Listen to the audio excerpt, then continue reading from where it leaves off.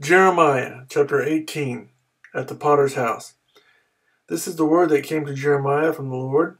Go down to the potter's house, and there I will give you my message. So I went down to the potter's house and saw him working at the wheel. But the pot he was shaping from the clay was marred in his hands. So the potter formed it into another pot, shaping it as seemed best to him. Then the word of the Lord came to me, O house of Israel. Can I not do with you as this potter does, declares the Lord? Like clay in the hand of the potter, so are you in my hand, O house of Israel. If at any time I announce that a nation or kingdom is to be uprooted, torn down, and destroyed, and if that nation I warned repents of its evil, then I will relent and not inflict on it the disaster I had planned. And if at another time I announce that a nation or kingdom is to be built up and planted, and if it does evil in my sight and does not obey me, then I will reconsider the good I had intended to do for it.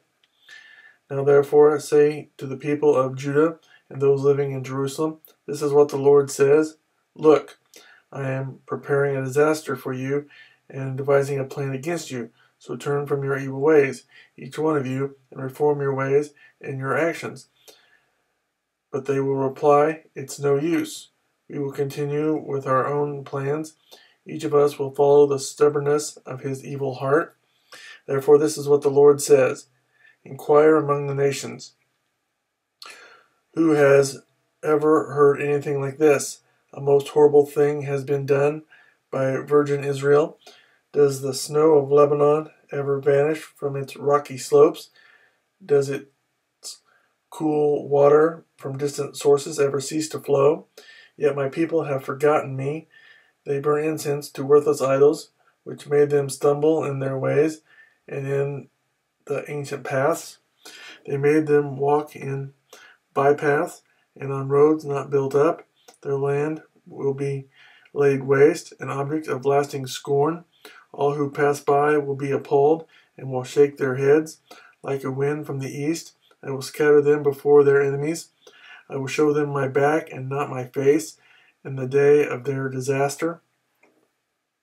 They said, Come, let's make plans against Jeremiah, for the teaching of the law by the priest will not be lost, nor will counsel from the wise, nor the word from the prophets. So come, let's attack him with our tongues and pay no attention to anything he says. Listen to me, O Lord. Hear what my accuser is saying. Should good be repaid with evil?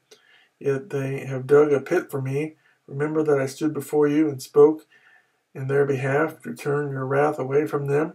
So give their children over to famine, hand them over to the power of the sword. Let their wives be made childless and widows.